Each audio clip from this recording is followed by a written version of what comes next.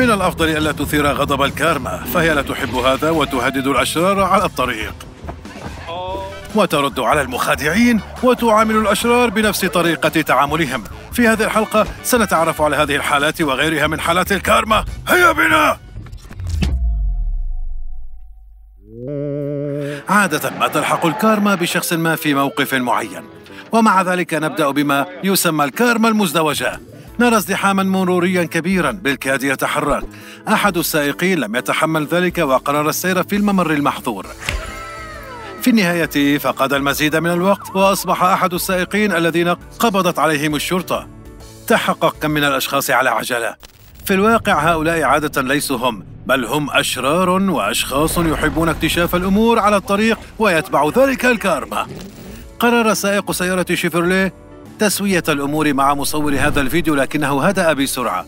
أسكتته الكارما على شكل شرطي قريب على الفور. أحيانا لا يجب أن تذهب لمكان حتى تعاقبك الكارما. يكفي أن توقف سيارتك في المكان الخطأ كما فعل هذا السائق. توقف أمام صنبور المياه. لن ينتظرك رجال الإطفاء لتغيير مكانها. لهذا اضطروا لكسر نوافذ وتمديد خرطوم من داخل السيارة.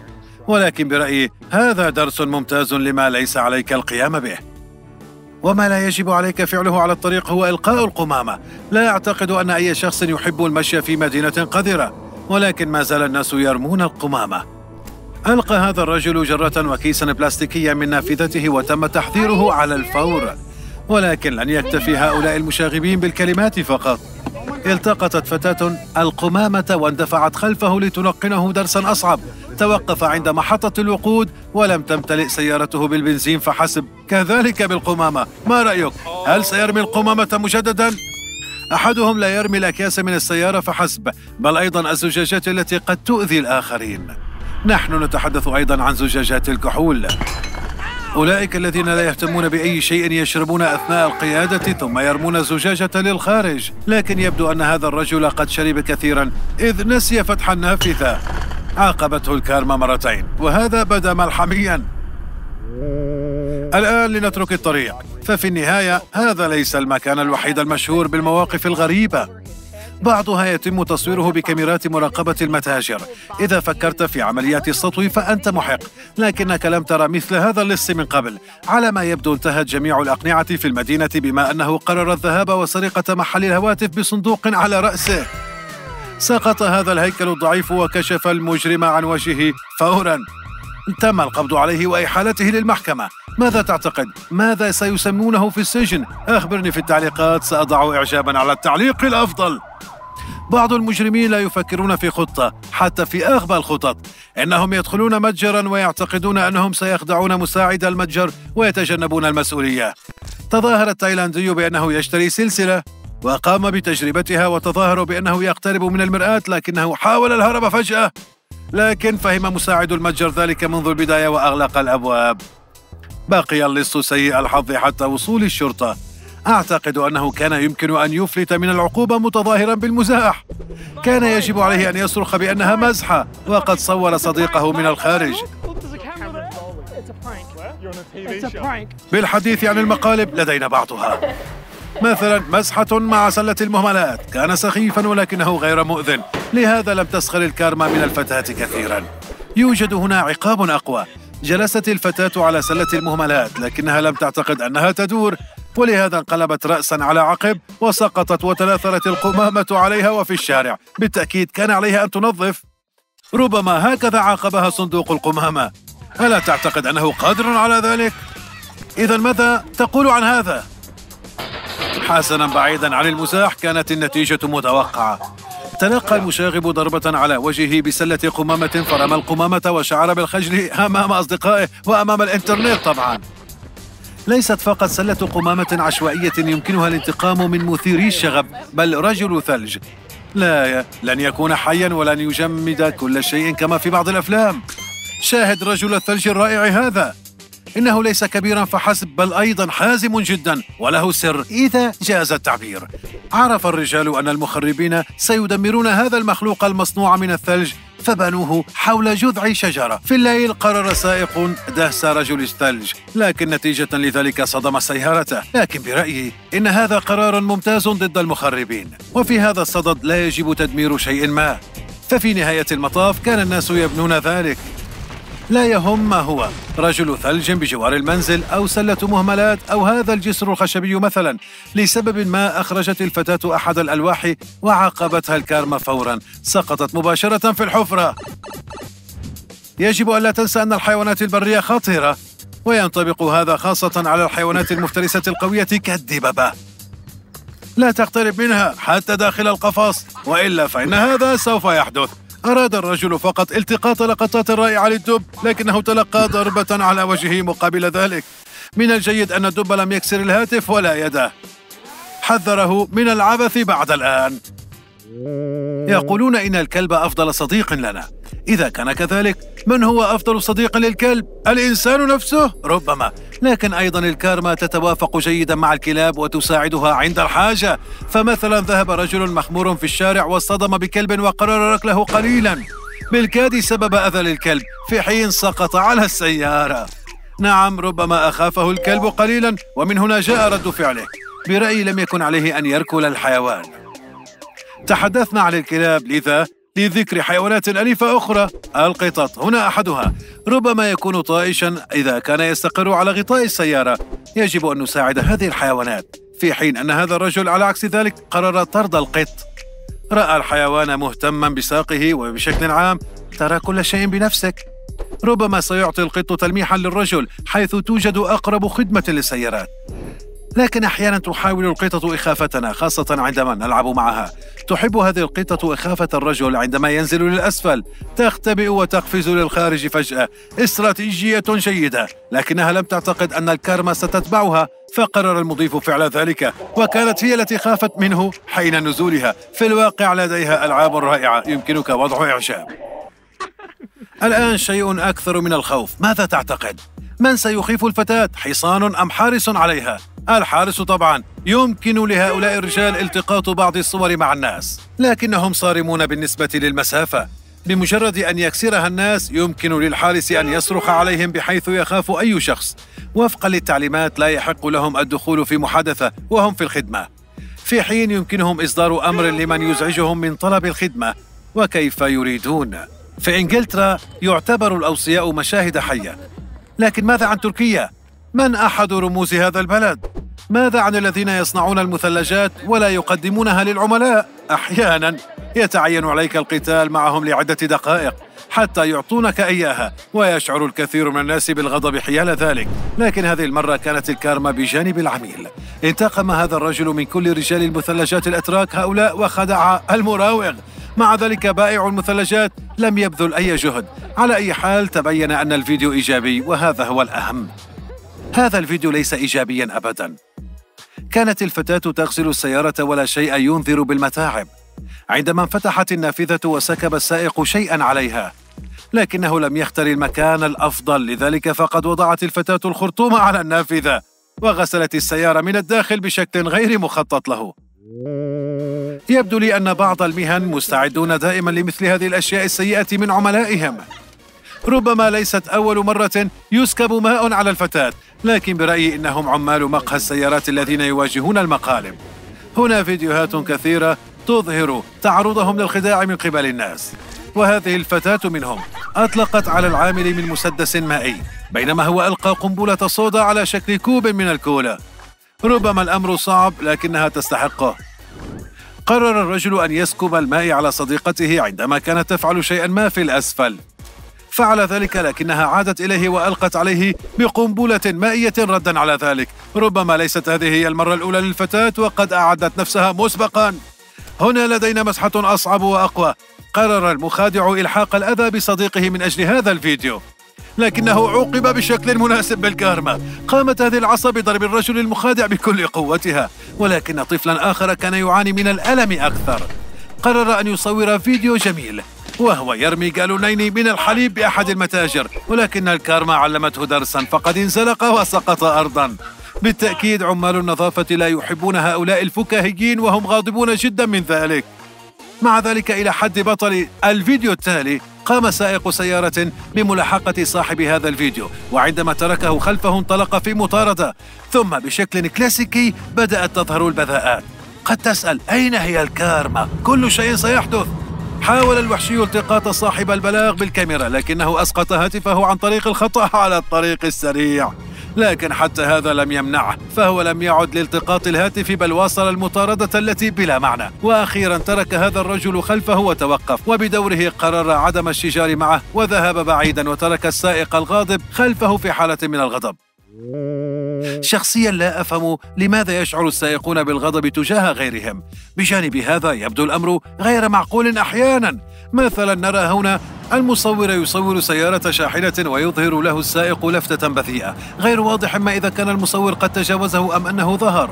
شيء واحد واضح الكارما لا تحب ذلك. بعد فترة انزلقت الشاحنة وتضررت. كان عليه أن يبقي عينيه على الطريق.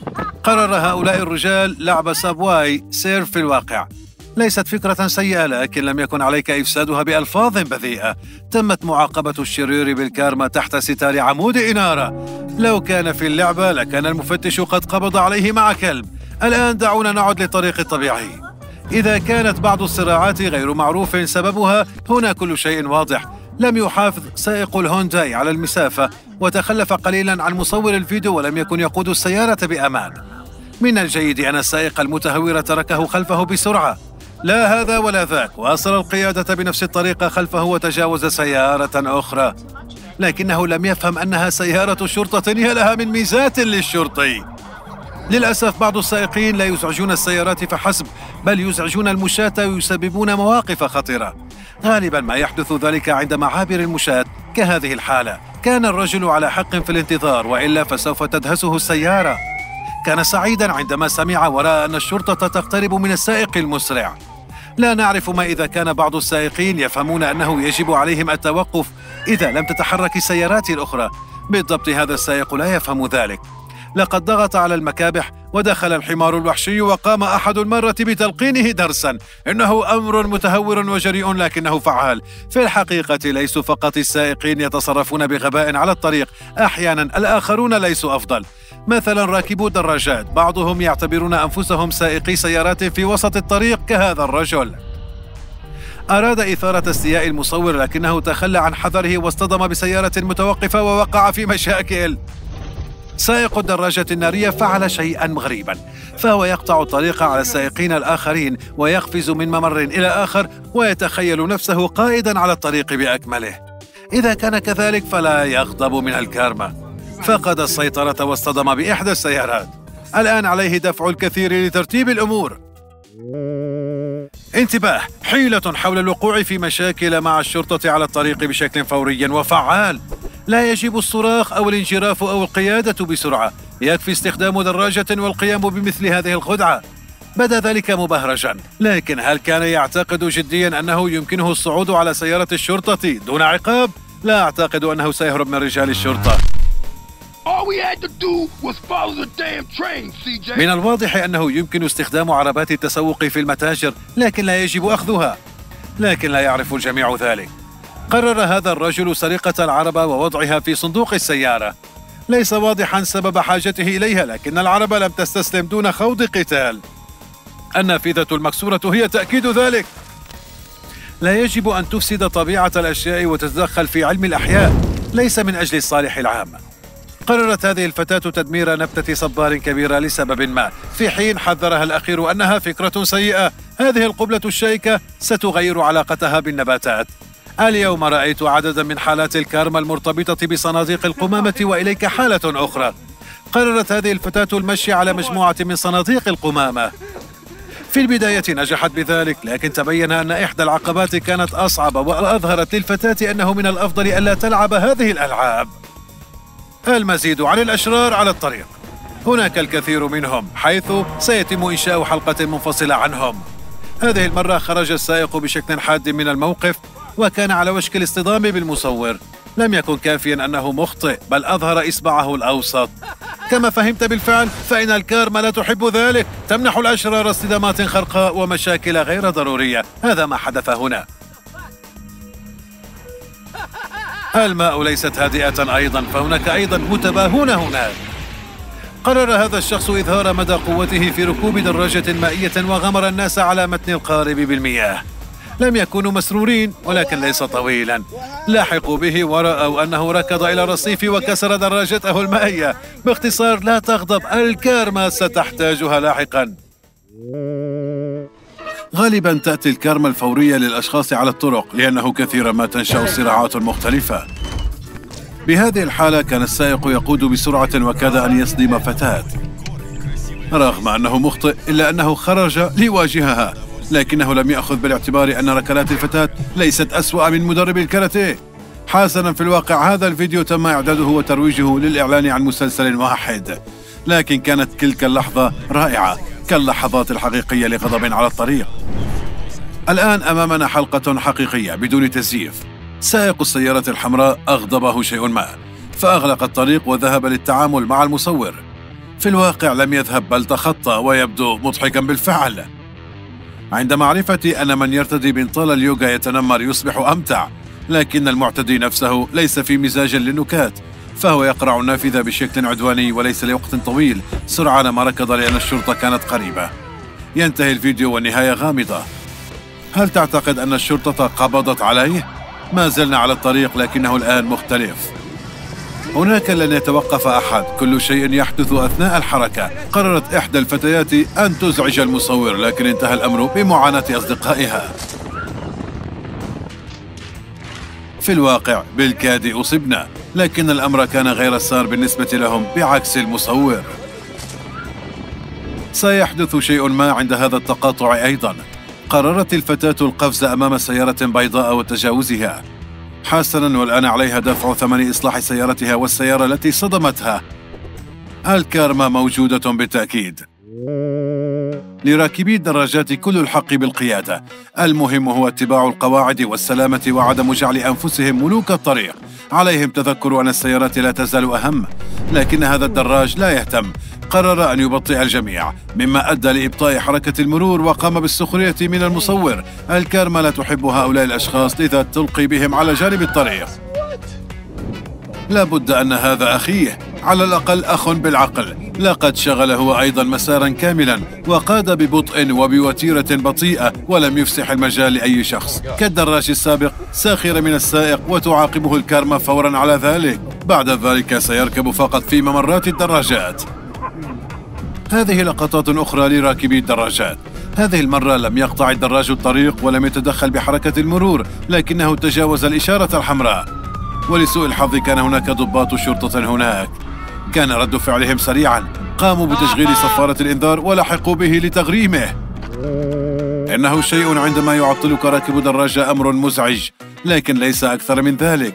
يكون الأمر أسوأ عندما تعطلك السيارة. هذا بالفعل أخطر. هذا ما فعله سائق السيارة حيث سلك المسار بوقاحة. ربما الرجل الوقح يعتقد أنه أروع رجل بالعالم. هل كان رائعا عندما رأى رجال الشرطة؟ وهنا اعتقدت أن هناك شرطيا على الدراجة بسبب الزي المماثل لكنه مجرد مغرور آخر. يعتقد أنه ملك الطريق ويمكنه تجاوز الجميع. هذه المرة كانت شاحنة. بعد ذلك يذهب لملء البنزين للمزيد من التصرفات الغبية لكنه تلقى صفعة من سائق الشاحنة. عادة ما يفعل سائقو الدراجات كل الأشياء الغبية. إذا كنتم تتابعونني لا أقصد الإهانة. الآخرون هم سائقو الشاحنات. إن هؤلاء الرجال جادون يفهمون الحجم الضخم لسياراتهم بالتالي لا يفعلون أشياء غبية. لكن هناك استثناءات. شعر هذا السائق بأنه ملك على الطريق. لم يسمح لأحد أن يسبقه وفي نفس الوقت كان يقود ببطء. أغضب العديد من السائقين لكن الرجل لم يهتم. لقد أغضب الجميع لعدة دقائق متواصلة. ذهب لأبعد من ذلك حتى لم يسمح لشاحنة أخرى بالمرور. كان على السيارة الضخمة محاولة المرور. أتت كارما أخيرا وسرعان ما عقبته حيث انزلقت سيارته وسقطت. بالطبع يتمنى أن يكون السائق بخير لكنه كان خطأه كبيرا. من الواضح أنه لم يعتقد أن أحدا كان في عجلة. هناك الكثير منهم على الطريق. يكون بعض الأشخاص في عجلة لدرجة أنهم يخالفون القواعد. مثلا ينحرفون نحو حركة المرور المقابلة مثل هذا. كان السائق متأكدا من أنه سيخدع الجميع ويكسب الوقت لكنه في النهاية فقده. ظهرت الشرطة من العدم والآن سيقضي بضع ساعات غير سارة معهم. قد يسحبون رخصته أيضا. كان هناك سائقون ودراجون ولكن ماذا عن المشاة؟ هم أحيانا يقومون أيضا بأشياء تعاقبهم عليها الكارما. هذا شارع عادي في بولندا حيث يقوم السائقون بما في ذلك مصور الفيديو بعملهم. الضوء أمامهم أخضر وبالطبع يقفز أحد المشاة. حالة كلاسيكية حاولت المرأة العبور عند الضوء الأحمر لكنها فشلت. هذا أفضل لقد أنقذتها الكارما لأنها لو لم تسقط لكانت صدمتها السيارة. حسنا سنعود للحظات الطريق بضع مرات أخرى لكن الآن أقترح تغيير الموقع. إن الكارما يمكنها اللحاق بالناس في أي مكان. تريد إحدى الفتيات الاهتمام وتقف على البرميل لكن الثانية تدفعها عدة مرات. إنها تريد أيضا الاهتمام وقد تحققت رغبتها من خلال الكارما. بعد هذا الفشل لم تعد مضطرة إلى تسلق أي براميل والجميع لاحظها على أي حال. ما هو شعورك تجاه الكلاب الضالة؟ شخصيا لا أحبها وأخاف منها. لا أعرف ما تفعله وما إذا هي مريضة.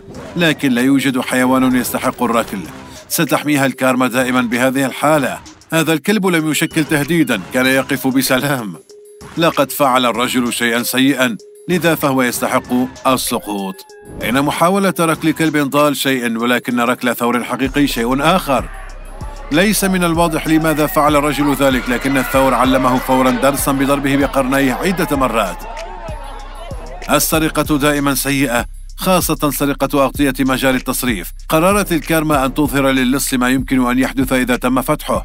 أتساءل عما إذا كان قد أعاده لمكانه أم أنه قرر البقاء في عالم الجريمة أكثر. تخيل أنك متعب تركب مترو الأنفاق وتريد أن ترتاح قليلا أثناء الرحلة.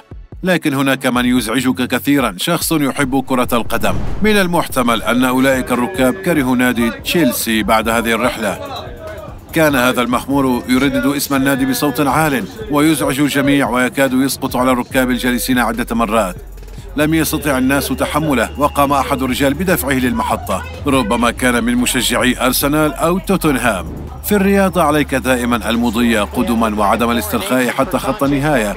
لكن هذا الرياضي ذو القميص الأبيض ظن أنه فاز.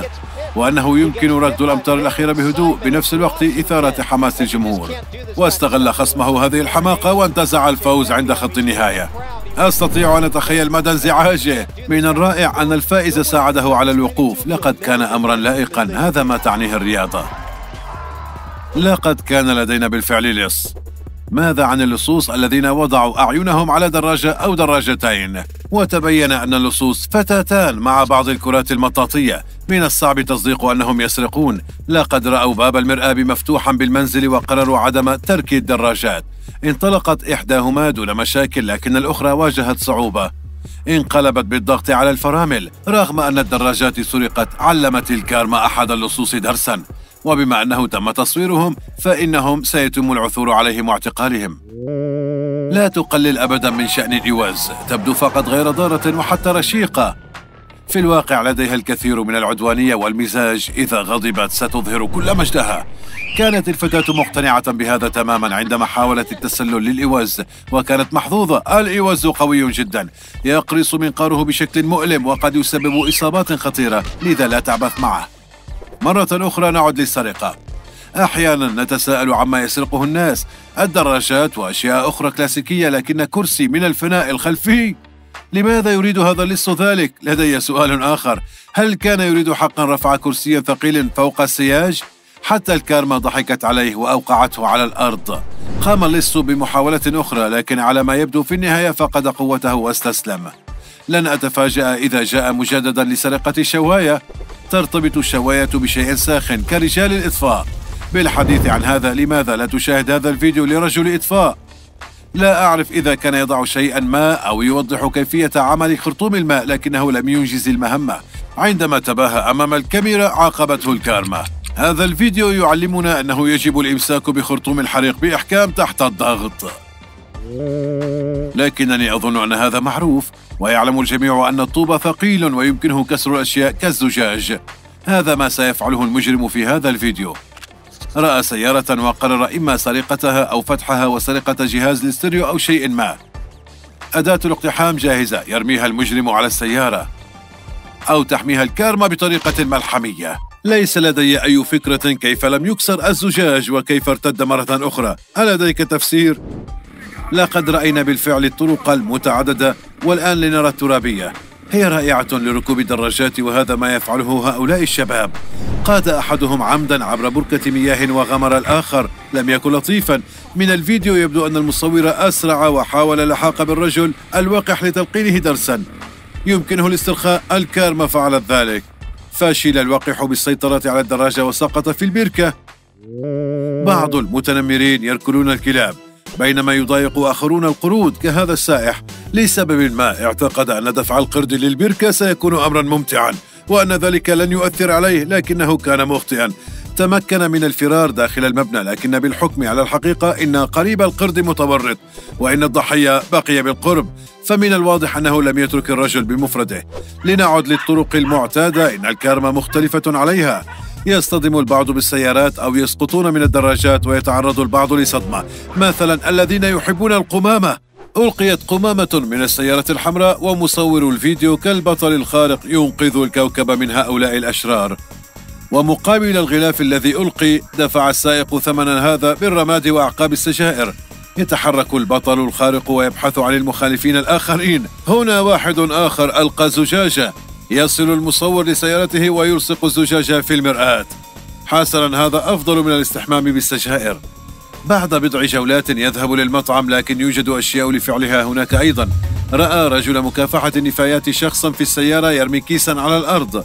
يلتقطه ويلحق بالرجل ويلقنه درسا. سيكون الأمر قاسيا لكنه فعال.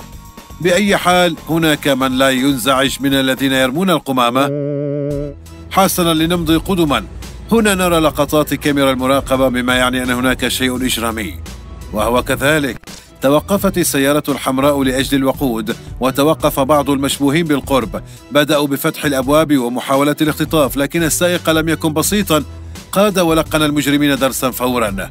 مع الأخذ في الاعتبار أنه تم رصدهما وسيارتهما فلن يصعب العثور عليهما واعتقالهما. تحظى السجائر الإلكترونية بشعبية كبيرة مما يعني وجود أموال وهذا يعني أن السرقة ستنجح. هذا ما اعتقده اللص في هذا الفيديو. دخل إلى المتجر وأخطأ فورا تقريبا. أولا أسقط بندقيته ثم لم يتمكن من القفز ثم نفذ هاربا بشكل مثير للسخرية. ذكرني بالحي تي إي عندما تقوم بالجري والقفز. ربما كانت هذه خطة اللص. ربما أراد إعطاء الفتاة سلاحا للدفاع ضد اللصوص الحقيقيين. بعيدا عن المزاح كان ذلك مضحكا. تعمل الكارما جيدا ضد اللصوص. تظاهر هذا المجرم بأنه ينظر إلى الهواتف لشرائها لكنه حاول الهرب. لم يدرك أن هذه المتاجر عادة تجهز بحواجز الأبواب. بسبب الأشخاص الماكرين. عندما أدرك أنه فشل بدأ بالإيقاع بأصدقائه قائلا إنهم جعلوه يفعل ذلك. تخيل كيف يكون الأمر عندما يقبض عليك ثم تكون مع الذين حاولت سرقتهم. بالمناسبة قرر صاحب المتجر ذو القبعة البيضاء منحه فرصة. لم يتصل بالشرطة وتركه يذهب. ولاحقا عرض على اللص أن يأتي للعمل في متجره حتى يحصل على أموال نظيفة وليست إجرامية. هذا تصرف عظيم بالنسبة لي. أتعرف ما هو الرائع أيضا؟ زجاج محلات المجوهرات. في الأفلام تظهر دائما على أنها هشة وتنكسر فورا ويسرق المجرمون الماس والذهب دون صعوبة. لكن في الحقيقة مختلفة. ألقى اللص حجرا على الزجاج لكنه لم ينكسر وكأنه زجاج مضاد للرصاص. عدة محاولات لم تسفر عن شيء وسرعان ما طارده صاحب المتجر بالعصا. هناك مجرم آخر حاول سرقة شيء ما من المستودع لكنه فشل. كما فشل بالهرب الناجح أيضا تم إيقافه بواسطة دارابزين رغم أنه لم يركض بسرعة إلا أنه ضرب بقوة. كان محظوظا لأنه أثناء جلوسه لم يلحق به أحد الحراس. لنكتفي من المجرمين لهذا اليوم. دعونا ننظر للكلاب. نعلم أن الكلاب تحب النباح على شخص ما وقد لا يكون هناك أي شيء جدي فهي فقط تتباهى. كهذا الكلب الذي قرر النباح على الدجاج خلف السياج. الجميع شجاع خلف السياج. حاول النباح في وجهها هذا ما اعتقدته. لم يعد الكلب جريئا بعد الآن ويبدو أنه يريد العودة للخارج. عندما تقوم بمزاح أصدقائك كن مستعدا للكارما. قرر السائق إخافة صديقته وأطلق بوقه فجأة. لقد أخافها ولكن الآن سيتعين عليه تنظيف الزجاج الأمامي. الآن لديك عشرين دقيقة من الحقائق غير المفيدة المذهلة. إذا نقرت على الحلم بنفسك يصبح الأمر صعبا في سبع ثوان. هذا هو رد الفعل المنعكس الذي نشأ أثناء التطور البشري. عندما يلمس الرضيع حلمة أمه فإنه يقسو مما يجعل الرضاعة الطبيعية أسهل. يتم تشغيل نفس الآلية عندما يتم ضغط الحلمة. لذا هل ضغطت عليه؟ هل كان يعمل؟ ثم يمكنك تجربة جسمك أكثر قليلا مثلا من حيث المسافة والطول. المسافة من ثني المرفق إلى المعصم هي طول القدم. وإذا تم ضرب نفس المسافة بأربعة تحصل على طول خطوتك. عند تناول الكرفس يهدر الشخص سعرات حرارية أكثر مما يحصل عليه. الكرفس أحد الأطعمة القليلة التي لا تحتوي على سعرات حرارية. يستغرق الأمر ضعفا إلى ثلاثة من أضعاف الطاقة للهضم مقارنة بالاستهلاك. لذا بإمكانك إضافته لخطة نظامك الغذائي. في 1998 طور مخترع من جنوب إفريقيا مع بي إم دبليو طريقة غير عادية لحماية السيارات من السرقة. جاء نظام مكافحة السرقة ردا على سرقات السيارات التي كانت تغرق البلاد وتسبب الكثير من الضحايا. تم تشغيل جهاز المسمى Blaster بواسطة دواسة القدم. إذا تعرض السائق للهجوم من قبل المجرمين فيمكنه ببساطة الضغط على الدواسة وسوف تصطاد النار الخاطفين حتى على بعد أمتار قليلة. كانت الطريقة وحشية لكنها قانونية تماما. مع ذلك تم إيقاف Blaster في 2001 لتكلفته. الدب القطبي خطير حتى لو كان ميتا. إذا أكل شخص كبده فمن المحتمل أن يموت. هذا لأن المعيار اليومي لفيتامين A للبشر من 800 إلى 900 ميكروغرام ومجموع 100 جرام من الكبد يحتوي على 400 ألف ميكروغرام من الفيتامين A. الجميع يعرف مدينة بانكوك. لكن هل تعلم أنها تدعى رسميا شيئا آخر؟ تمت ترجمته حرفيا مدينة الملائكة مدينة الخالدين العظيمة مدينة رائعة من الأحجار الكريمة التسعة مقر الملك مدينة القصور الملكية موطن الآلهة المتجسدين التي أقامها فيشفا كرامان بناء على طلب إندرا. ليس مستغربا أن تكون بهذا الاسم الذي سمح لها دخول كتاب كنيس. هل تعتقد أنه عنوان طويل؟ لا ليست كذلك. بالمقارنة مع صيغة البروتين تايتن فإنه لا شيء. هذه الصيغة أطول كلمة في أي لغة في العالم. تحتوي النسخة الإنجليزية على أكثر من 189 ألف حرف وسيستغرق نطقها أكثر من ثلاث ساعات. أخبرني في التعليقات إن أردت نطق هذه الكلمة. جورج دانزيك عالم الرياضيات الأمريكي. طالبا جامعيا تأخر عن الفصل وأخطأ في المعادلات المكتوبة على السبورة كواجب منزلي. بدا الأمر أكثر صعوبة من المعتاد لكن بعد بضعة أيام تمكن من إكماله. اتضح أنه حل مشكلتين غير قابلتين للحل في الإحصاء وكان كثير من العلماء يعانون من أجلهما. أصبح جورج أحد أعظم علماء الرياضيات في كل العصور ومؤسس البرمجة الخطية.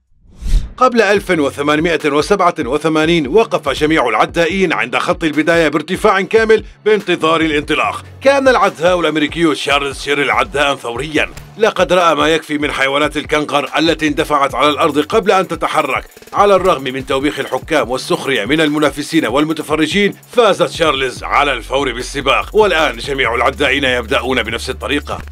المزيد عن الرياضة. أعتقد أن الجميع يعرف شاكيل أونيل الرجل الضخم وأسطورة كرة السلة. خلال السنوات التي قضاها في الدوري الأمريكي للمحترفين سجل حوالي 30 ألف نقطة لكنه صنع مؤشرا واحدا من ثلاثة مؤشرات فقط. لقد سجل 22 رمية فقط ثلاثية من مدى طويل لأنه كان طويل القامة. إذا قمت بطي ورقة 42 مرة سيصل ارتفاع الكومة إلى القمر. 51 طية والورقة تصل إلى الشمس. وإذا قمت بطي ورقة في النصف 103 مرات على التوالي فإن سمك الورقة سيتجاوز حجم الكون المعروف 93 مليار سنة ضوئية. ومع ذلك من غير المحتمل أن تتمكن من طي الملاءة خمسة أو ست مرات على الأقل.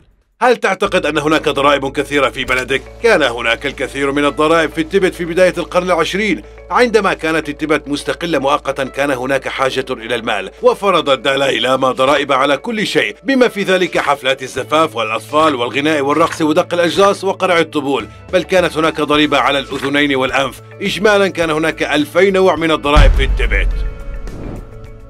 فيتامين A في الجزر مهم للبصر جيد. مع ذلك لا توجد علاقة مباشرة بين تناوله وحسن البصر. بدأت أسطورة البصر المثالي والجزر في الحرب العالمية الثانية. طور البريطانيون رادارا جديدا يسمح للطيارين برؤية القاذفات الألمانية في الليل. لإخفاء وجود هذه التكنولوجيا وزعت قوات الجوية البريطانية منشورات تفيد بأن هذه الرؤية كانت نتيجة لنظام حمية الجزر للطيارين. بعد سنوات عديدة لا تزال الأسطورة تصدق. لا يقع مكتب البريد دائما على الأرض. جزر البهاما لديها مكتب بريد تحت الماء. فانواتو لا تزال لديها واحدة. كان الملك القديم ميثراداتس خائفا جدا من القتل لدرجة أنه شرب كمية صغيرة من السم كل يوم حتى طور مناعة ضد جميع السموم المعروفة في ذلك الوقت.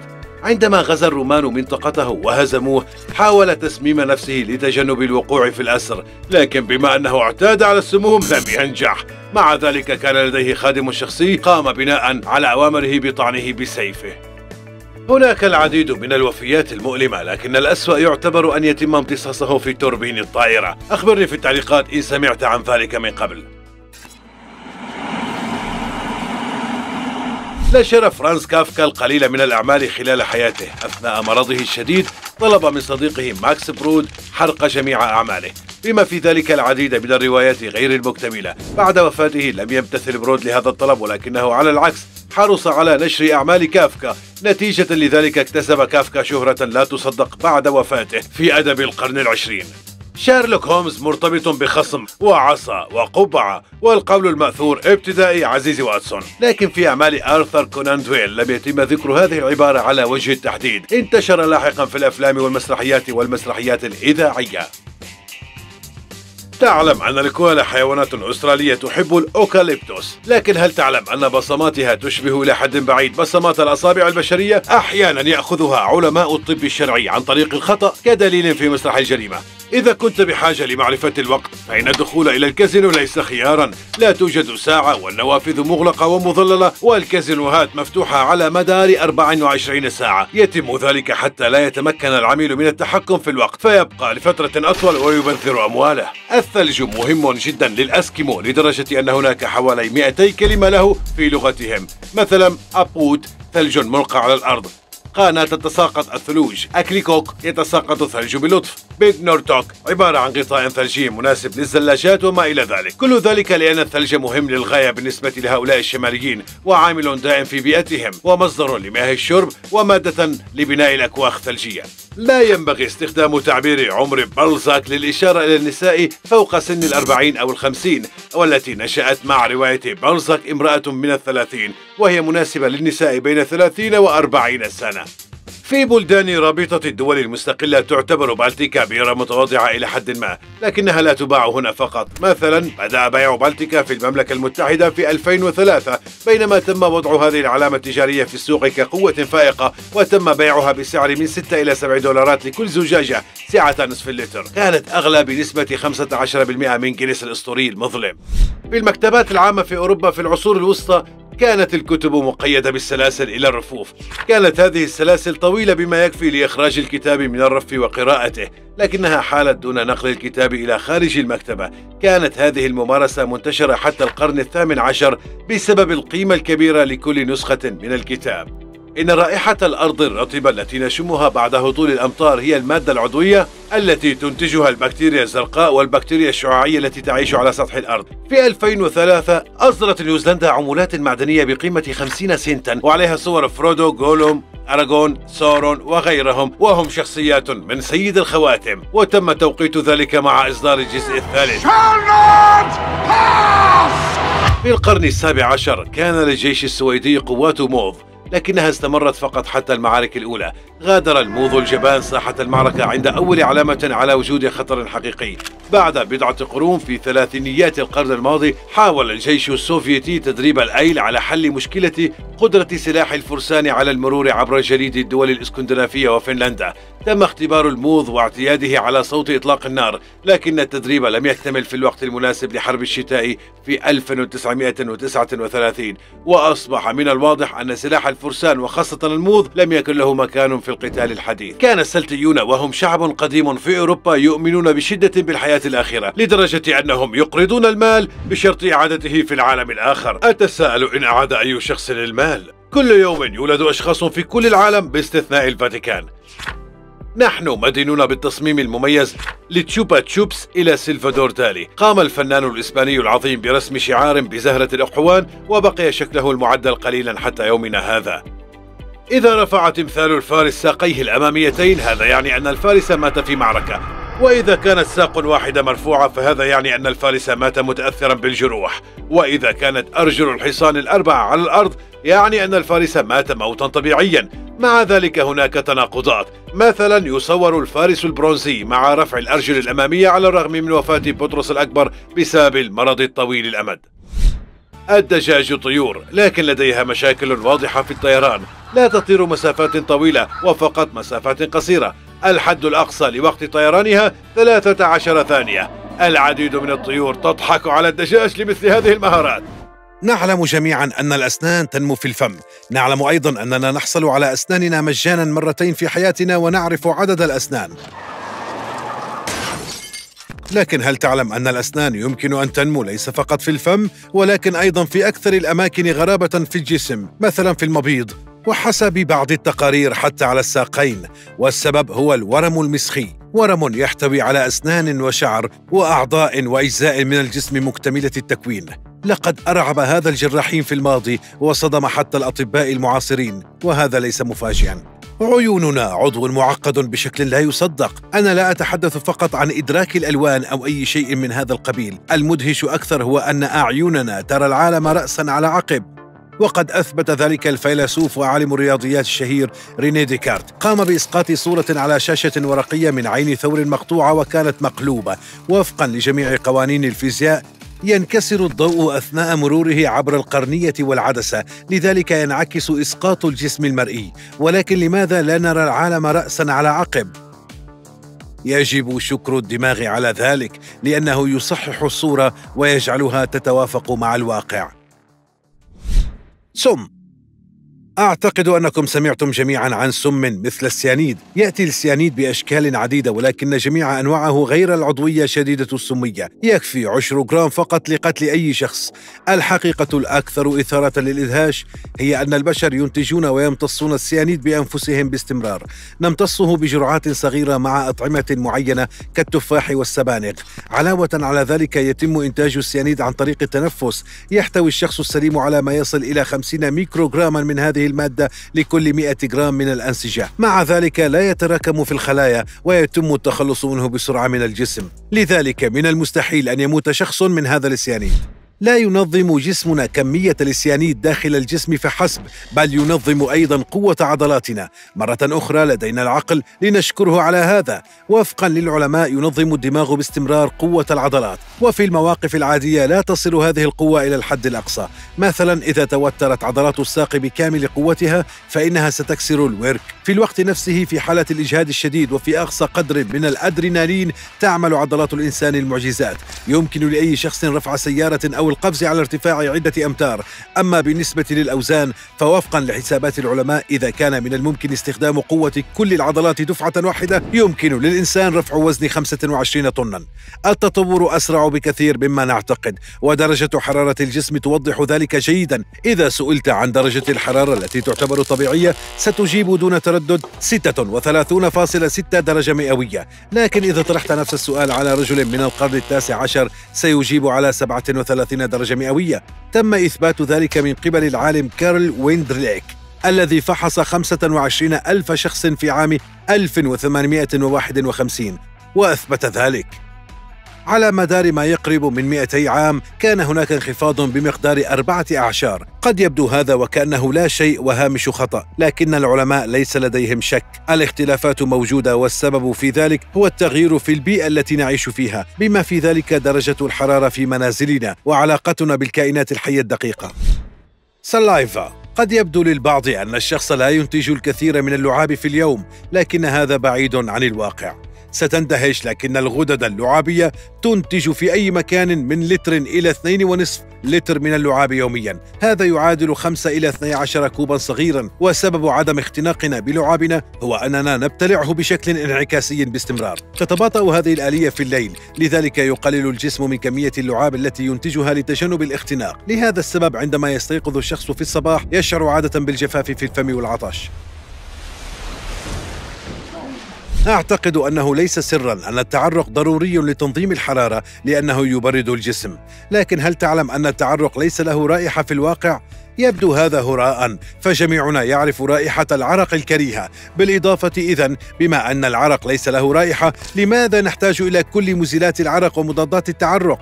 نعم العرق ليس له رائحة لأنه يتكون في الغالب من الماء لكنه يحتوي على أحماض تفرزها الغدد الجسمية تعمل البكتيريا التي تعيش على الجلد على تحليل هذه الأحماض فتطلق منتجاتها رائحة كريهة. دغدغة.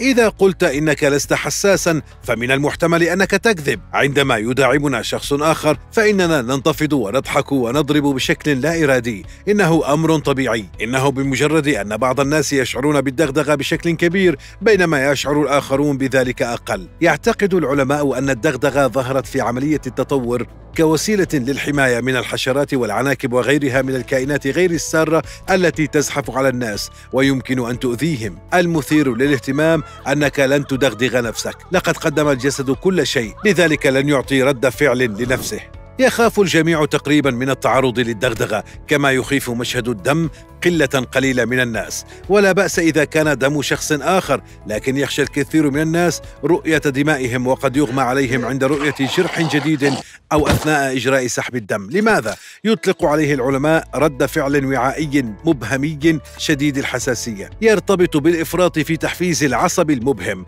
مما يؤدي إلى عملية الاسترخاء في الجسم. يعتقد أن الإغماء عند رؤية الدم هو رد فعل دفاعي تطوري يبطئ معدل ضربات القلب. من المفترض أنها آلية بقاء مثل تلك الخاصة بالبوسوم التي تتظاهر بأنها ميتة عند مهاجمتها. بالمناسبة الخوف من الدم هو رهاب يسمى الهيموفوبيا. يعتقد العديد من الخبراء أن نسبة الهيموفوبيا بين النساء أكثر من الرجال وعلى ما يبدو لا يزال الرجال أكثر شجاعة من النساء. لكن هذا مجرد افتراض وليس حقيقة. ماذا عن الحقائق؟ ابقى معنا لمعرفة الحقائق المذهلة عن الجسد الذكري والأشياء المثيرة للاهتمام. الإرضاع. المرأة ترضع. لا يمكنك المجادلة في هذا. لكن اتضح أن الرجال يمكنهم الإرضاع أيضا. الرجال كالنساء لديهم غدد ثديية يمكنها إنتاج حليب الثدي. ذلك لأن الرجال ينتجون هرمون البرولاكتين المسؤول عن إنتاج الحليب. تزداد كمية البرولاكتين عند الرجال أثناء الجوع مع تناول بعض الأدوية أو حدوث خلل في الغدة النخامية وما تحت المهاد. بشكل عام هذا أمر غير طبيعي لكن بعض الرجال الأصليين في أمريكا الجنوبية لا يقلقون بشأن هذا فهم يرضعون أطفالهم دون مساعدة. امرأة. هل تساءلت يوما لماذا نحتاج إلى تفاحة آدم؟ ولماذا يمتلك الرجال تفاحة آدم أكبر من النساء؟ واقعا تفاحة آدم أو البروز الحنجري هو مجرد نتوء على الرقبة يتكون من صفائح من غضروف الغدة الدرقية والتي تتمثل وظيفتها الرئيسية في حماية الحبال الصوتية. الغضروف الدرقي مسؤول أيضا عن نبرة الصوت. خلال فترة المراهقة يغير من زاويته إلى الغضروف الحلقي مما يؤدي إلى تكوين بروز الحنجرة وكسر الصوت. عند الرجال تكون هذه الزاوية أصغر منها عند النساء. لذلك يكون لديهم نتوء أكبر وصوت أقل. أناشد الرجال. إذا كنت تعيش مع فتاة ولديك مشاكل منزلية أو صعوبات مختلفة بشكل عام من المحتمل أنك تتفاعل معها بشكل مختلف. أليس كذلك؟ بالتأكيد يمكننا اكتشاف المشكلة معا. ولكن إذا نظرت إلى الرجال والفتيات بشكل منفصل فعادة ما يحاول الرجال الوصول إلى جوهر المشكلة. بينما عادة ما تبحث الفتيات عن الجزء العاطفي. هناك سبب لذلك. الحقيقة هي أن اللوزة الدماغية عند الرجال في النصف المخي الأيمن. تعمل في هذه اللحظة بينما يعمل النصف المخي الأيسر للمرأة. ومن هنا تأتي الطريقة المختلفة. عظام لقد أثبت العلماء أنه كلما زاد تدريب الرجل أو تمارينه كلما أصبح هيكله العظمي أقوى وأضخم. تقوية العظام هي استجابة الجسم لزيادة التمرين والنشاط. يستخدم هذا المقاتلون المحترفون الذين يقصون أذرعهم وأرجلهم حتى لا يخافوا في المستقبل من صد أو رمي ركلة منخفضة في الساق. من ناحية أخرى لا ينصح بمشاركة الفتيات في مثل هذه التمارين بسبب الخصائص الهرمونية. تميل عظام النساء إلى أن تصبح أكثر هشاشة مع تقدم العمر مما كانت عليه في شبابها، لذا لا تقدر على تحمل تدريب القتال. قلب حجم قلب كل شخص هو حجم قبضته وبالتالي فإن قلب الرجل العادي هو بالتأكيد أكبر من قلب المرأة العادية. بالمناسبة يطلق على القلب اسم المحرك لسبب ما إنه المحرك الحقيقي الذي يولد الطاقة في يوم واحد ينتج طاقة كافية لقيادة 32 كيلومترا في السيارة. وإذا استهلكت كل الطاقة التي تضخها عضلة القلب طوال حياتك هذا يكفي للطيران إلى القمر والعودة. ليس لديك فكرة عن مدى قوة شعرنا. تعتمد قوة الشعر على العرق بينما يعتبر الشعر القوقازي الأضعف والشعر البنغولي الأقوى في الواقع. يمكن وصف شعر ممثلي جميع الأعراق بأنه قوي للغاية. يمكن لشعرة بقطر 0.05 سنتيمتر أن تحمل وزن 100 إلى 200 جرام وهذا يعادل تفاحة. وإذا كان الشعر مربوطا أي خصلة ضيقة جدا يمكنك تعليق وزن يتراوح من 12 إلى 20 طنا ولن يتكسر الشعر. ليس من المدهش أن يقوم بعض الأشخاص فعليا بسحب السيارات بشعرهم ولكن ما زال مدهشا مدى قوة الشعر. بالمناسبة شعر كل شخص لديه بنية فردية لكن بشكل عام لديه بنية مماثلة. لدينا جميعا بصمات أصابع استثنائية ربما تعرف ذلك. لكن هل تعلم أن بعض الناس ليس لديهم بصمات على الإطلاق؟ هؤلاء الناس لديهم خاصية تسمى أدر مادرغليفيا وهي نادرة بشكل لا يصدق. لا يوجد سوى عدد قليل من الأشخاص في العالم بهذه السمة المدهشة. ليس لديهم جزء من المعلومات البيومترية ويساعدهم ذلك في مسرح الجريمة وهم مرتاحون من تعرق راحة اليد. من ناحية أخرى الميزة رائعة لكن الأشخاص الذين لديهم هذا النوع ليسوا سعداء جدا فاحيانا لا يمكنهم الحصول على مستندات مهمة. دعنا نعد إلى ما صور بالكاميرا. ها هي سفينتنا أو بالأحرى سفينة حاويات. إنها تبحر تجاه الشاطئ ويبدو أنها فقدت مكابحها. من الواضح أنه لا يوجد رصيف بحري قريب والسفينة على وشك الاصطدام بالشاطئ وتدميره. ربما لا. بمعجزة ما تمكنت من التوقف على بعد بضعة أقدام فقط من الأرض ومنع وقوع الحادث. ماذا عن هذه السفينة؟ الرصيف موجود لكن السفينة لن تتوقف حيث يفترض أن تتوقف. فقدت السيطرة واصطدمت بالرصيف بعد كل شيء. لحسن الحظ سرعتها منخفضة وتمكن الناس من الفرار لكن إصلاح السفينة والرصيف سيكلف الكثير من المال حسنا كان ذلك متوقعا لكنك لن تخمن أبدا ما الذي سيحدث هنا. لا توجد عوائق والسفينة تبحر بسلاسة. لكن فقط للوهلة الأولى وفي ثانية يحدث شيء غريب. تبدأ السفينة بالتدلي من جانب إلى آخر وتصطدم بالدعامة وينهار فوقها جسر كامل. أنا شخصيا لم أتوقع ذلك. لنشاهد المزيد من السفن قرر مصور الفيديو ركوب دراجة مائية قرب السفينة الحاويات لا أعرف لماذا يبدو أنه أراد إحساس جديد. حسنا لقد حصل عليها. عندما بدأت محركات السفينة بسحب الدراجة تحتها. وبمعجزة ما فقد تمكن النجاة من المراوح الحادة وظل سالما. آمل ألا يفعل ذلك مرة أخرى. ما الذي قد يحدث أثناء السقوط المظلي؟ ربما فكرت في عدم فتح المظلة صحيح؟ لكن هذا لم يحدث هنا. رجل يهبط بهدوء نحو الأرض ولا شيء ينذر بالخطر. لكن فجأة تنقطع المظلة على ارتفاع بضعة أقدام من الأرض. كان السقوط قويا لكن من الجيد أنه حدث قرب الأرض. لو كان على ارتفاع عشرة أو خمسة عشر مترا لكانت مأساة. لكن ماذا عن هؤلاء المظليين؟ لم تكن لديهم مشاكل مع مظلاتهم. كانت هناك مشكلة في الطائرة حيث اصطدمت بطائرة أخرى وكان على الجميع القيام بقفزة طارئة. لكن هذا لا يحدث كل يوم. لكن الأهم هو أنهم نجوا بما في ذلك الطيارين اللذين كانا مستعدين لهذا. يبدو أن هؤلاء الأشخاص كانوا يركضون عبر خط السكة الحديدية محاولين الوقوف أمام القطار. لكن انتظر في الواقع كانوا ينقذون أنفسهم. وذلك لأن سيارتهم علقت على خط السكة الحديدية وقبل ثوان من الاصطدام تمكنوا من الخروج. ما الخطأ هنا؟ نعم السيارة خلف الحاجز. لكن إنها ليست على خط السكة الحديدية من غير المرجح أن يتم ضربها. لكن فجأة السائق بدأ القيادة لسبب ما. عندما كان القطار مسرعا إنه أغرب قرار قد يتخذه أي شخص. كان الاصطدام لا مفر منه. لحسن حظه أنه اصطدم بالمقدمة ولم تسحق السيارة بالكامل. لا تصطدم القطارات بالسيارات فحسب بل تتصادم أيضا مع بعضها وهذا ما حدث هنا. قطاران يتجهان نحو بعضهما. يمكننا رؤية مسارا متصلا ويبدو أن القطار الثاني يجب أن يتباطأ قليلا ولكن ليس اليوم. حدث تصادم قوي لكن على ما يبدو بدون ضحايا. شاهد كيف قفز سائق القطار مدركا أنه لا يوجد شيء يمكنه فعله. المشاكل قد تكون في أي مكان وقد تأتي من العدم تماما مثل هنا. كان سائق يقود بهدوء على طريق ريفي في أستراليا ودخل في سحابة غبار ولسوء الحظ اصطدم بشاحنة هكذا تحدث المشاكل فجأة مجددا كان هذا متوقعا لكن يستحيل أن تخمن ماذا سيحدث هنا كان رجل يحاول أداء جزء من الرقص وكان يقفز فوق قدمه وماذا سيحدث؟ سوف يكسر ساقه أم أنه سيسقط؟ نعم لقد سقط ولكن بطريقة غير عادية انظر كيف سقط على الأرض كيف حدث ذلك؟ هل كان يوجد ورق بدلا من الأرضية؟ ماذا برأيك قد يحدث هنا؟ لو كنت مكانك لأجبت أي شيء هذا صحيح لكن يبدو لي أنه لا يمكن لأحد أن يتخيل أن الزجاج سوف ينفجر بين يديه من الواضح أنه لم يضربه ولم يلمسه بأي شيء بل قرر لوح الزجاج أن يتحطم بنفسه إلى أشلاء فناء خلفي عادي لمنزل في جنوب أمريكا الأطفال يسبحون وأمهم تقرأ كتابا وتسترخي على الأريكة ما الخطأ الذي يمكن أن يحدث؟ حسنا مثلا قد يقرر فرع ضخم أنه سائم من كونه جزءا من شجرة إن سرعة رد فعل المرأة لا تصدق فقد تجنبت الإصابة في الثانية الأخيرة وكيف سوف تسترخي بعد مثل هذا الحدث؟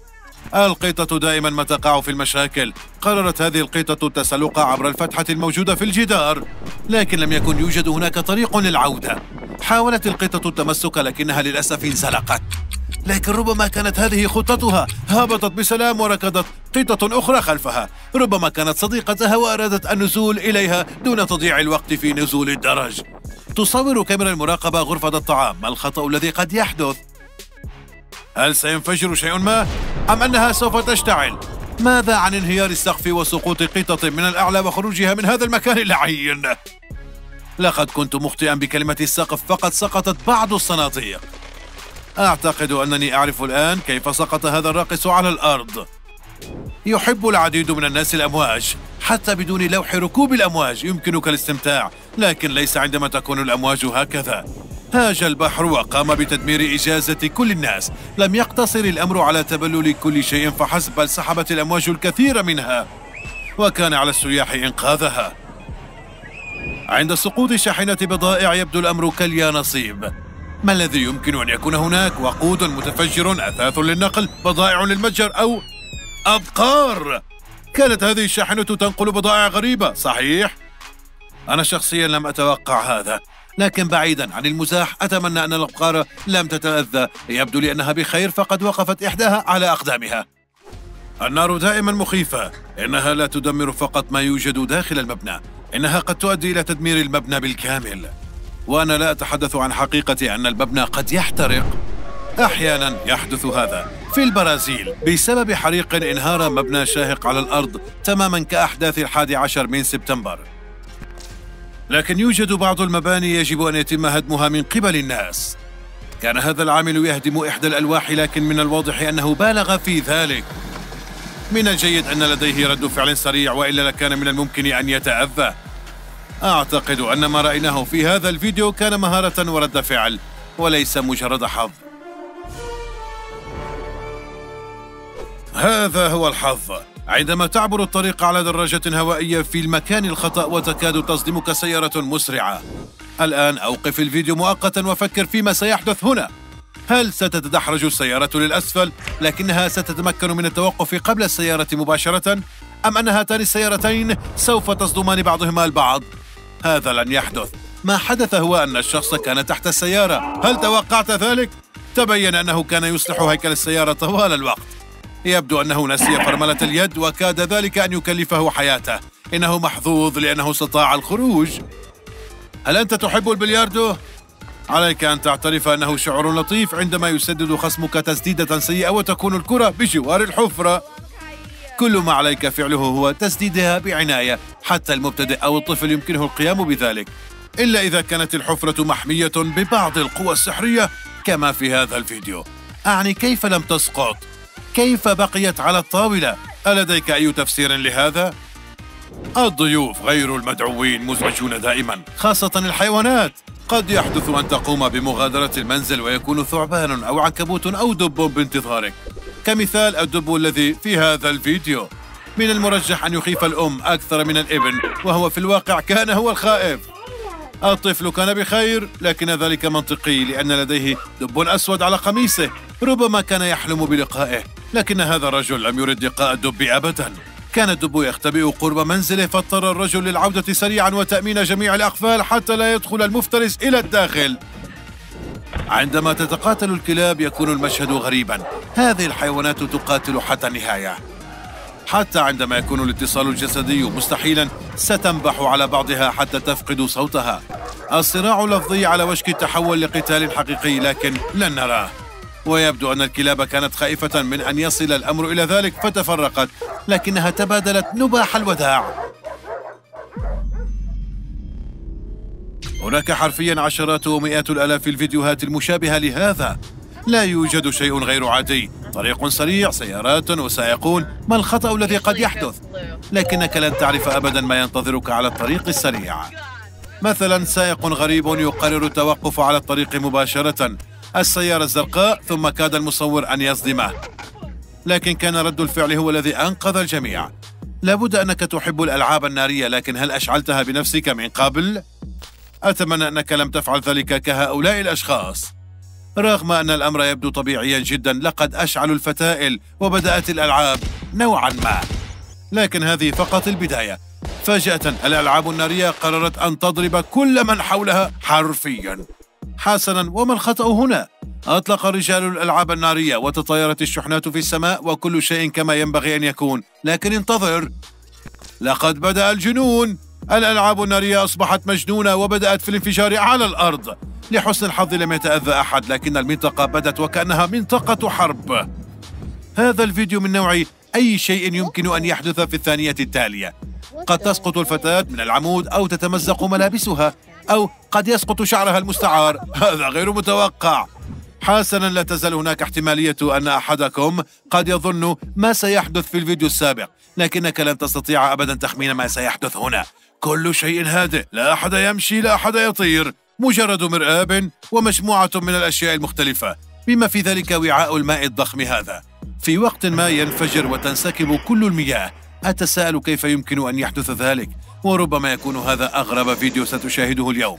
يظهر منطاد فجأة ويقوم بهبوط اضطراري خارج منزل أحد الأشخاص مباشرة. وهكذا يبدو الأمر من الخارج. إنه منطاد مختلف وهبوط اضطراري مختلف. لكن الأهم هو أنه نجح مجددا أعتقد أنه عندما رآه صاحب المنزل لم يصدق عينيه إحدى الشاحنات عالقة في شيء ما لكن الشاحنة التالية تأتي من خلفها وتتجاوزها وتعلق بهذا الشيء أيضا لكن لماذا؟ وما هذا؟ على أي حال؟ هل يحاولون إفساد بناء الطريق؟ هكذا قد يبدو الأمر لكن في الواقع هذا طريق مفيد للغاية فهو مسار خاص للفرملة الطارئة غالبا ما تتعطل فرامل الشاحنات ويتعين على السائقين التوقف بنفس الوقت عدم الإضرار بأحد. يسمح هذا الممر لهم بإجراء فرملة طارئة ناعمة إلى حد ما وإنقاذ ليس فقط حياة شخص ما ولكن أيضا صحته. لقد كان لدينا بحر الأمواج اليوم والآن حان دور الكائنات البحرية. ها هو! لكنه ليس صحيحا. هل يوجد مثل هذه المخلوقات في البحر؟ بعيدا عن المزاح كيف أتت البقرة للبحر؟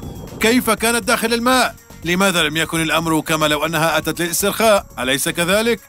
كما تبين أثناء المد العالي جرفت لجزيرة مجاورة لكن البقرة الذكية تمكنت من العودة للأرض عن طريق المياه الضحلة هذه ليست ثانية قبل الكارثة بل بضع ثوان قبل الكارثة هل تعلم ما قد يحدث على هذا الطريق الأسترالي العادي؟ الدليل أمامك مباشرة شاهد النباتات تتأرجح هناك رياح قوية للغاية وحاويات النفايات هذه تمر بوقت عصيب حقا. في النهاية سقطت بل وإن أحدها طارت. بينما تطير حاوية أستراليا تستمر حياة المكسيك. يحضر طباخ الطعام وينتظر الضيوف طلباتهم ويسقط السقف. أجل لدينا مشاكل في السقف مرة أخرى للمرة التي لا تحصى.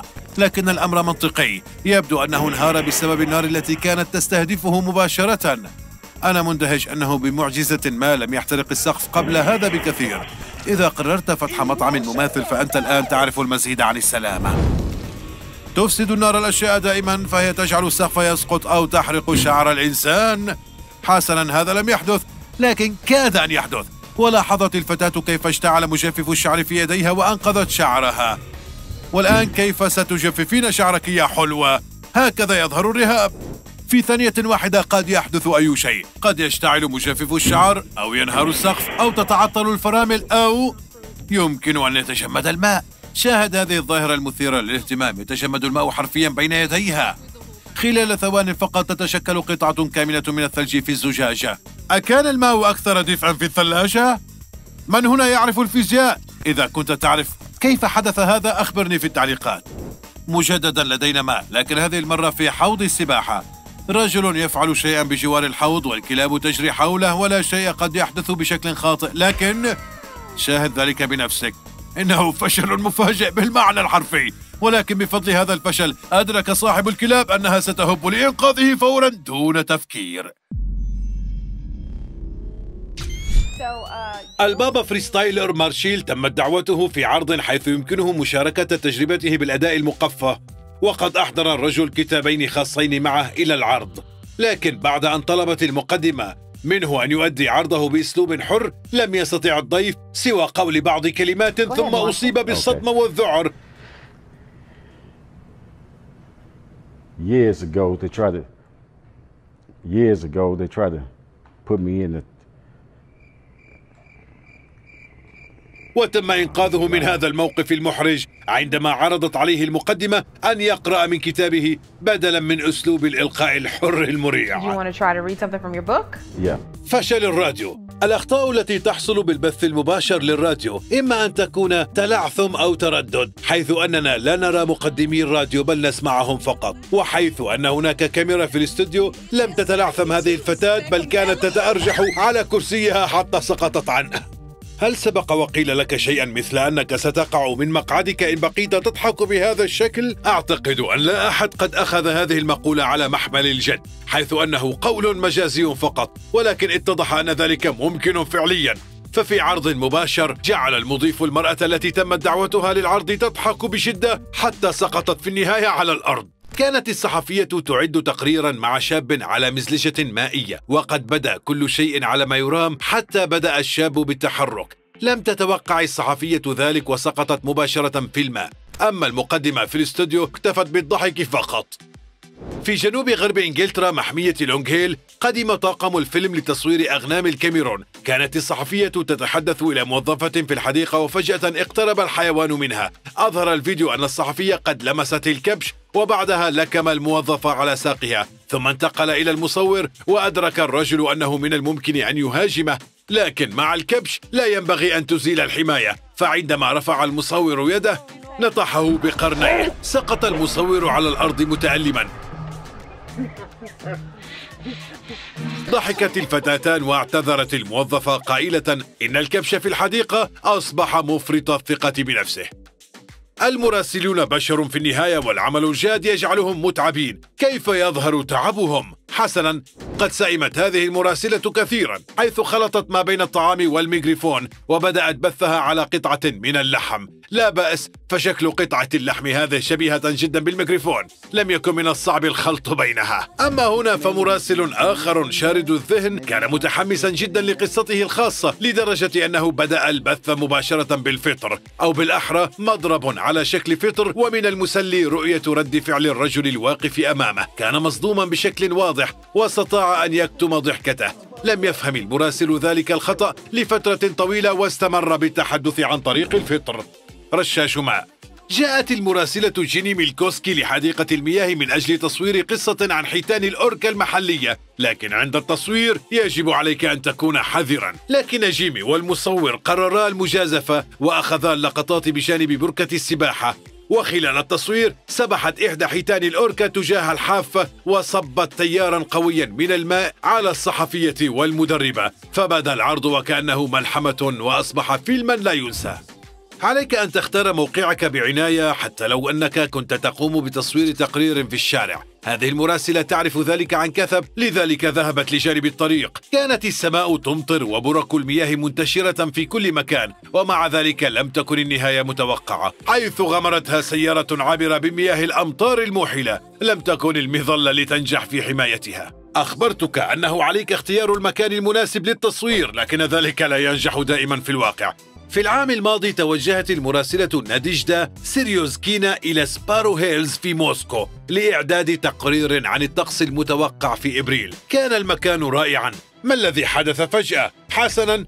من الممكن أن يقطع البث كلب تولى أمر الميكروفون وأخذه بعيدا. مما اضطر المراسلة إلى اللحاق به. فتمت مقاطعة البرنامج لفترة وجيزة وعندما استأنفت المراسلة برنامجها لاحظ المشاهدون علاقة وطيدة قد بنيت بينها وبين بطل القصة. لم يصاب أحد بأنياب هذا الكلب فقط الميكروفون. مراسل بي بي سي أراد إعادة استخدام حرفية لصوص حديقة هاتون الذين نفذوا أكبر عملية سرقة في تاريخ بريطانيا. فقد حفر اللصوص عدة ثقوب في الجدار الخرساني للوصول إلى القبو وإخراج الأشياء الثمينة هناك. حاول المراسل تقليدهم لكنه لم ينجح وللأسف لن يتم تجنيده في تلك العصابة لأن الرجل علق في الحفرة مثل وين الدبدوب كيف يمكن لشخص ما أن يخفق بشكل فظيع؟ ماذا عن السقوط في وسط مدينة وأمام الكثير من الناس؟ لكن هناك خيار أروع هو الوقوع بطريقة مضحكة في منتصف المدينة وأمام عشرات آلاف المشاهدين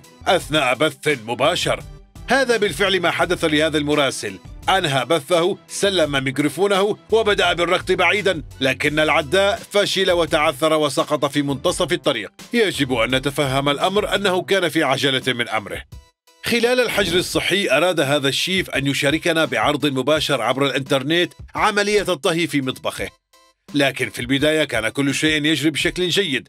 كان يخبرنا كيف يجب أن يحضر الطبق وما الذي يتضمنه طبقه. فجأة بدأ المضيف والمشاهدون يلاحظون النار خلف الرجل. المنشفة التي ألقاها على الموقد اشتعلت فيها النيران مباشرة. بدأ المتابعون بالصراخ لكن الشيف لم يكن منتبها وبدأ بتحميص الخبز. لحسن الحظ سمع الصراخ أخيرا وأنقذ مطبخه.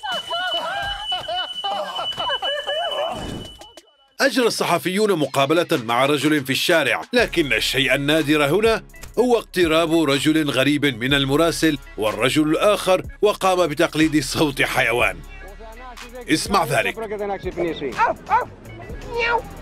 ماذا تعتقد؟ هل هذا أفضل صديق له حيث قرر السخرية أم أنه رجل المدن المجنون؟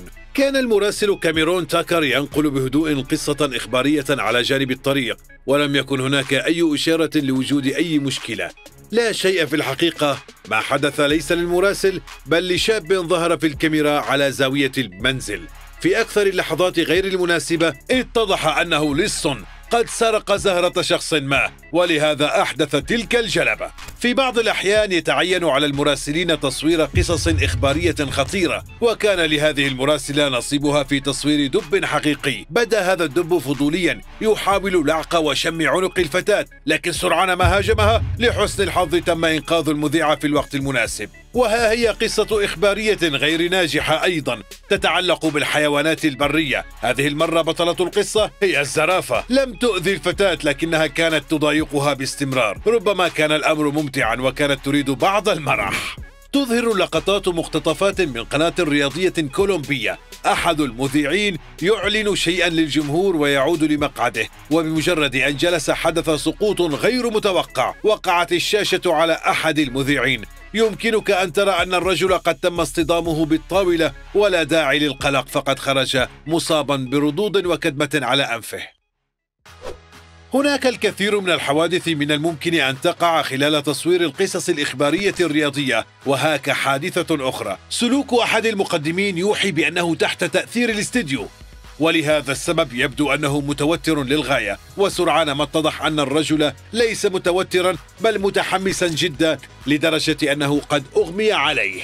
ليس كل حماس يظهر على الشاشة يقتصر على الإغماء ففي بعض الأحيان يحدث خطأ ما. يبدو أن الرجل في الوسط قلق للغاية. يبدو متيبسا ومباشرة اتضح السبب حيث يحثه الرجل الجالس أمامه على الوقوف. ويمكن لجميع المقدمين والجمهور أن يروا كيف فشل الرجل. حسنا لقد شاهدت بنفسك كيف يمكن أن يحصل أي شيء على الهواء. لكن قد يتفاجأ الناس ليس فقط بالإخفاقات ولكن أيضا بالقدرات المذهلة.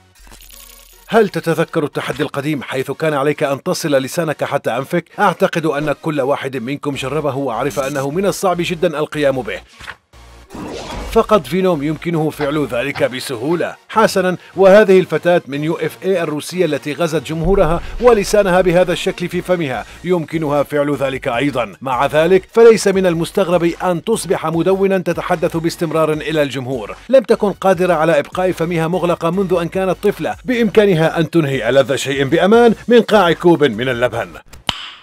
إنه لأمر رائع أن تولد شخصا مميزا قادرا على القيام بأشياء لا يستطيع الآخرون القيام بها. على أي حال لا تخمن كيف يبدو الأمر. يمكنك فقط كتابة رسالة إلى هذا الشخص. يمكنه بسهولة رفع ساقه أعلى من لاعبي جمباز وثني ذراعه بحيث يبدو كما لو أنه كسرها. ووضع إحدى عينيه على الجانب الذي بالكاد يمكن رؤيته وتحريك إصبعه خلف راحة يده تحت العظم. وبإمكانه ربط إصبعين في كلتا قدميه معا. إذا كنت قد مارست تمريرا صحيا يجب أن تكون على دراية بالتمرين الذي تقوم فيه بتمديد رقبتك. على ما يبدو هذا هو الشيء المفضل لهذا الرجل لأنها أطول رقبة رأيتها في حياتي. واقعا لم أعتقد أن هذا الجزء يمكن أن يكون طويلا. اضغط على زر الإعجاب إذا حاولت أن تمد رقبتك كما فعل. بالنسبة لأولئك الذين يعتقدون أنه يمكن شرح مستخدمي تيك توك السابقين بطريقة أو بأخرى أو مساواتهم بالأشخاص العاديين فقد أعددت لهم هذا بشكل خاص. إنه يذهل عقلك وإدراكك بالكامل للعالم البعيد. هذا الرجل لديه أيد بدلا من الأرجل يبدو بطل الرواية في الفيديو غريبا بشكل كبير. ومن النظرة الأولى منذ الثواني الأولى من الفيديو لا زلت أتساءل كيف يشعر هذا الرجل بساقيه. يعني هل يشعر بها مثل اليدين أم لا؟ ماذا تعتقد؟ ما التالي بالنسبة لنا؟ لا يحدث شيئا مثيرا لكن فجأة هل رأيت ذلك أيضا؟ هيا إنها حماقة من الصعب تصديق أن الشخص العادي يمكنه أن يضغط على عينيه ويجعلها كعيون الزواحف. لكن إذا كان هذا صحيحا فأنا لا أعرف كيف أعلق على شيء من هذا القبيل. لقد رأيت الكثير من الأشخاص الذين يرتدون عدسات ملونة من الزواحف لبعض الأحداث التنكرية أو لمجرد أن يبدو غير عاديين. لقد كان لهذا الرجل مثل هذه العيون منذ الولادة. أود معرفة المزيد عن ذلك. هل يؤلمه أن يغير عينيه بهذه الطريقة في الواقع؟ هل يمكن أن يكون زاحفا حقيقيا؟ إذا كنت تريد أن تعرف المزيد لنذهب إلى هذه الفتاة التي تحرك عينيها. إنها واحدة من تلك التي من الأفضل لها الرؤية مرة واحدة بدلا من السماع عدة مرات. لقد كنت أنظر إليها منذ فترة ولا أفهم هل هذا حقيقي أم أنه تم خداعي كتلميذ وآمنت بفيديو مزيف بسيط. بالحديث عن تلاميذ المدارس يجب أن نقول للفتاة أن تصبح معلمة في المدرسة أو أن تراقب في الامتحان. لن يستطيع أحد الغش بالتأكيد. كما تقول بطلة الفيديو التالي إنها تحب فقط إظهار خصوصيتها لكل من حولها. في مرحلة ما أصبحت مفتونة بها أكثر من بقيتنا لأن رد الفعل مما تراه جعلها تضحك. انظر ماذا يمكنها أن تفعل. علقت الفتاة لسانها في حلقها. سيبدو هذا غريبا لكن اليوم بعد كل هذه المقاطع لا أعتقد أنه سأتفاجأ بأي شيء آخر. وفي كل فيديو تال أكرر نفس الشيء. واو. بطل الرواية التالي في هذه الحلقة يتفاعل بنفس الطريقة التي أصيب بها. عندما رأى شخصا يعبر ممرا ولا ينظر في أي اتجاه حسنا بكل جدية هذه قدرة أخرى لن أرفضها. لماذا؟ يعد التعبير عن مشاعرك بصحبة أصدقائك أمرا رائعا وأكثر فعالية. وافتعال نكات على انفراد مع نفسك وتسجيل مقاطع فيديو تيك توك الفريدة والقيام عموما بالعديد من الأشياء. هل سبق أن رأيت ما يمكن أن يفعله لاعبو الجمباز؟ كيف ينحنون ويمدون أرجلهم أو أذرعهم أو أجسادهم أو أي شيء آخر؟ أحيانا ترى رجالا كهؤلاء في عروض المواهب يدخلون في صندوق صغير بأجسادهم كلها. الآن إذا كانوا جميعا بحاجة إلى سنوات من التدريب فإن هذه الفتاة من تيك توك كانت بحاجة فقط إلى الولادة. منذ الولادة يمكنها ثني أطرافها بزاوية تبدو غير واقعية ولا يمكن تصورها أما هذا الشاب فيقوم بأشياء عديدة بيديه يهزهم حوله كما لو كانوا عصي كما لو لم يكن لديه حتى عظام أو عضلات بالمناسبة هل تعتقد أن الطريقة التي يلف بها ذراعيه بهذا الشكل تجعله أقل عرضة لكسر شيء ما؟ إذا كسر ذراعه فسيكون قادرا على تحريكها والقيام بحركات مثيرة كهذه بنفس السهولة أم أن نهايته ستكون مأساوية؟ شاركني أفكارك في التعليقات كيف تتخيل إنسانا بأربعة أصابع على يده؟ أعتقد أن صورة شخص فقد إصبعه بالخطأ تتبادر إلى الذهن على الفور أليس كذلك؟ لكن بعض الناس يولدون بدون إصبع واحد في أيديهم ويبدو الأمر هكذا غير عادي أليس كذلك؟ أذهلت هذه الفتاة تيك توك بميزتها الفريدة ألا تعتقد أن يودا the Jedi Master لديه نفس اليدين تقريبا؟ من المحتمل أن يكون هذا ما يشبه الهجين بين شكل الأرنب والإنسان. لا حقا هذه الأسنان الضخمة ستكون موضع حسد كل القوارض. إنه لغز كيف حصل على أسنان أمامية مثيرة للإعجاب. يمشي ويريهم للعالم كله بلا خجل. بعد كل شيء لن يتمكن من إخفاء هذه الأسنان. الكل يريد أن يكون أصغر سنا. هذا ينطبق بشكل خاص على الفتيات. اللواتي يمضغن سنوات إضافية من النضارة باستخدام مستحضرات التجميل لكن كل جهودهم لا تقارن بمهارات هذه المرأة. كيكو جيست الأمريكية وجدت طريقة لتبدو أصغر بأربعين عاما. تبلغ من العمر أكثر من سبعين عام. وفقا للمرأة كل هذا ممكن بفضل عصير عالي السرية يساعد في الحفاظ على مظهر جيد. بالطبع ربما يكون كل شيء مزيف وهي تعبث مع الجمهور لكنني ما زلت أؤمن بتحول المعجزة. ماذا عنك؟ أنت تعرف تلك التحديات حيث يحاول الناس وضع أكبر عدد ممكن من الأعشاب من فصيلة الخبازية في أفواههم. أعتقد أنها هواية مفضلة لمستخدمي تيك توك القادم من الولايات المتحدة. من المحتمل أن يكون للفتاة أكبر فم رأيته في حياتك. أعتقد أن لديها فمن أكبر من أفلام الخيال العلمي أو أفلام الرعب. اسمها سمانثا غالبا ما تعرضت للتنمر في المدرسة بسبب هذا الشيء وهو أمر منطقي. لكنها وجدت طريقة لتحقيق الدخل من ميزتها وتعيش الآن دون أن تتذكر الماضي. لقد دخلت كتاب كينيس بصفتها صاحبة أكبر فم في العالم. هل تعلم ما هو اللون المغاير؟ هذا ما تفتخر به هذه الفتاة غير العادية. إنها ميزة يكون فيها لون قزحية العين غير متساو. يمكن أن يكون هناك اختلاف في اللون بين العينين وكذلك اختلاف في ألوان القزحية نفسها. كثير من الناس يضعون العدسات ويعملون مع الإضاءة أو المؤثرات أثناء التصوير. لكن هذه الفتاة تتمتع بجمال نادر وهذا مدهش. قد يجعلك هذا الفيديو تقفز من مقعدك. هل أنت جاهز؟ هل كنت تتوقع ذلك؟ إنها مهارة حقيقية أن ترمي رأسك للخلف هكذا لكنني أفضل عدم القيام بهذه الحيلة كيف تعبر عن تصفيقك؟ يمكنك التصفيق بيديك يمكنك الخداع ومحاولة التصفيق بقدميك أو استخدام كتفيك لكن قلة من الناس يمكنهم فعل ذلك. هذا رجل واحد منهم. انظروا إلى أي مدى يمكنه أن يجمع كتفيه معا لأنه ولد بحالة نادرة جدا ولد بدون عظم الترقوة إنها ليست أجمل الأمراض لكنها طريقة رائعة لمفاجأة الجمهور. بالنظر إلى هذه الفتاة إذا كنت تعتقد أن هناك فلترا في الفيديو جعل عينيه تتحركان بشكل عشوائي فإنها ليست كذلك. إليك مقطع فيديو بدون فلاتر وعيناها تستمران في الجري ذهابا وإيابا. وذلك لأنها لديها رأرأة. إنها الحركات غير المنضبطة والإيقاعية لمقل العيون. أحيانا كما قالت هي نفسها يمكن أن تكون أكثر تكرارا وفي أوقات أخرى يمكن أن تكون بالكاد ملحوظة. ولكن على أي حال فإن هذه الفتاة غير قادرة على تركيز نظرتها على شيء ما. أنا شخصيا أعرف العديد من الأمثلة لأشخاص يسهل عليهم كسر العظام أو جرح أنفسهم. حرفيا حركة واحدة مهملة والإصابة تتم.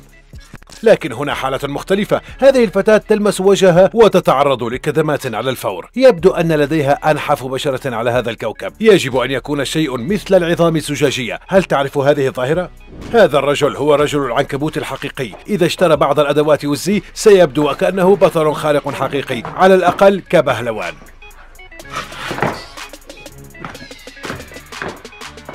أتعرف الشعور عندما لا تستطيع حك ظهرك بشكل صحيح خاصة المنطقة المحيطة بكتفك. هناك أوقات تمشي فيها إلى الحائط وتبدأ في الاحتكاك. مع ذلك هناك شيء مفقود. حسنا هذا ينطبق علينا نحن الناس العاديين لكن بطل الرواية مختلف. اعتاد أن يتحكم شخصيا في كل ما يتعلق بظهره خاصة لو حي كتفيه. يستطيع تحريكهما كأنهما إصبعا أو قدما. بالمناسبة إذا كان يصارع سيكون من المستحيل إبقائه على ظهره فإنه سيستخدم لوحي كتفه لرفع نفسه عن الأرض ومواصلة القتال.